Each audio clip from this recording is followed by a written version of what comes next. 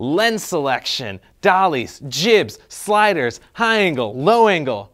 Cinematography is all about telling your story through the lens of a camera.